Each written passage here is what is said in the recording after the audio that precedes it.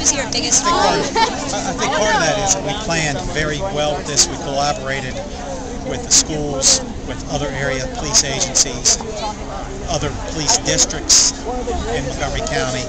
We collaborated so well and developed such a strong plan. Lieutenant Michael Price developed such a strong plan that any potential for conflict was headed off at the pass. And what was your biggest concern concern in all of these is that emotions run too high and people don't behave as they normally would. The, the idea of civil discourse back and forth with using rhetoric or dialectic is what's supposed to occur.